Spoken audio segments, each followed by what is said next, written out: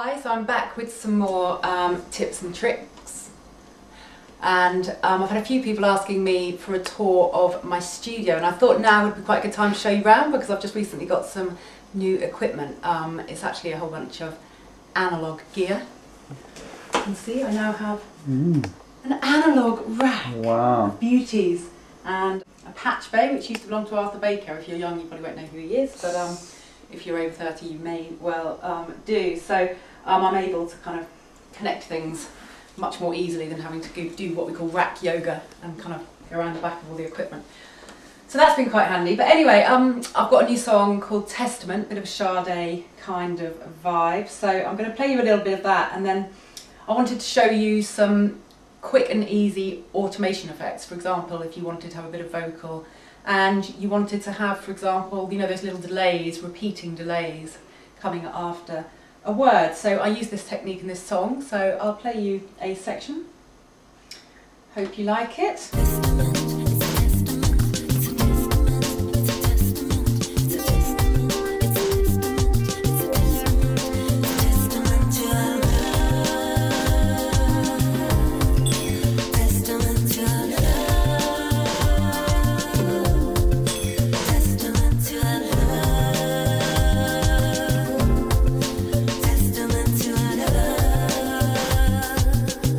Little snippet there of the main hook. What I want to go into now is just a little bit of the backing vocal where I repeat this section, um, this word still, which happens in the verse. So I'm just going to go to that track and solo it, and you'll hear that repeating. But I don't want it repeating on the whole of the track, and I'm going to show you how you can just isolate one section. So it's soloing. So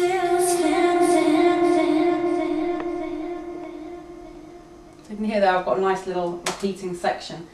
And in order to do automation, which is essentially I'm coming from the word kind of automatic to automate, um, we can basically use any of the effects we're using on a channel strip. So at the moment I've got a nice tape delay inserted on my channel strip here.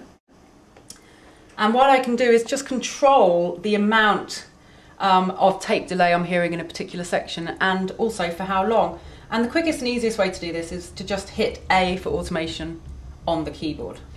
So can you see when I hit automation, we can kind of see these lines appearing um, on the screen. This is previous automation that I've done. If we go to the effect, the still effects vocal, which I'm working on, I'm just going to go to the tape delay. So any of the effects I've got here, you can see they're all listed. And I'm going to go to the mix. And I, I just have a kind of blank line. This is the line I'm going to be working on at the moment. It's as yet uncoloured. What I can do is just create what's called a node here. That's just 30%, which is where it is anyway. And then for this end bit where I want to have a little bit of delay, I'm just going to push the mix up to about 58. And then I want it to kind of stop repeating quite quickly. So then I'm just going to drag it all the way down. So let's just have a listen.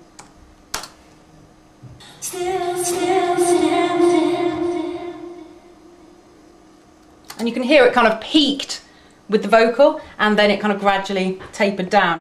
There's other things that you can automate as well. For example, I'm using something called a de-esser quite a lot, which um, gets rid of any sibilance when you say um, a lot of S's. And in this word testament, when I'm singing it's a testament, there's so many S's and this was really, really hard for me to de-ess. So for example, I'm just going to show you a section where I wanted the DS in and I didn't want to have to create another whole track and use loads of processing to have a duplicate track. I just wanted to be able to turn the de-esser on and off.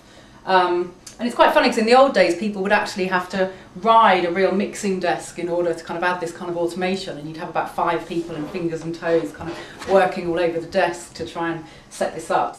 Now I'm going to set the channel strip to a setting called touch down here in the automation control. So that means anything I touch during this next section that I play, and I'm only playing, I'm not even in record mode, I'm just in play mode.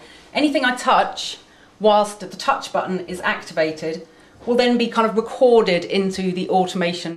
But if you watch, I'll just open the effect and I'm going to bypass it when it gets to the section where I want it to stop de-essing.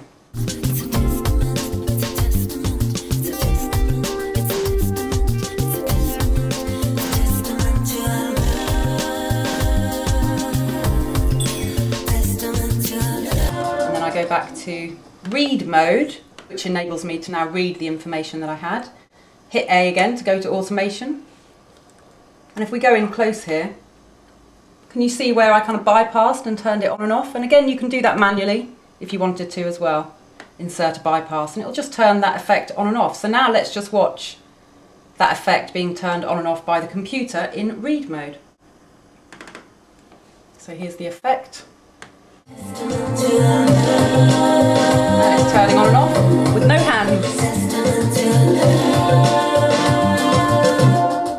Anyway, I hope this really kind of helps you to use some of the simple functionality of automation. Obviously, there's a lot more that you can do, and any effect um, in, in Logic that you have installed, you can basically automate most of the parameters. So I hope you can have some fun doing that.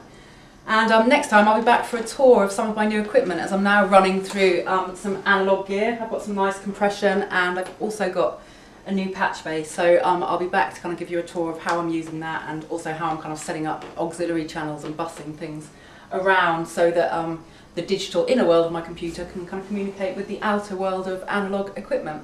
Um, nice talking to you. See you soon. Bye.